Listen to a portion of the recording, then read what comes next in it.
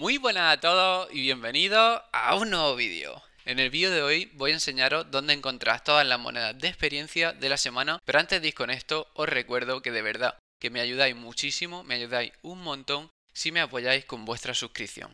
Si no estáis suscritos podéis suscribiros a mi canal y también podéis apoyarme dejando un buen like en los vídeos para que la comunidad siga creciendo y lleguemos cada vez a más gente.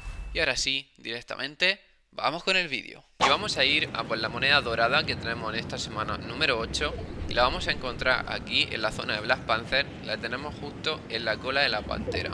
Así que vamos a caer por aquí rápidamente a ver si llegamos justo a la zona. Ya vemos que aparece la moneda, son 15.000 puntos de experiencia, súper fáciles de conseguir. Así que vamos a acercarnos, la cogemos y seguimos con la siguiente moneda, ¿vale? Voy a marcaros la zona por si no sabéis dónde está exactamente, pero la tendríamos justo aquí, ¿vale?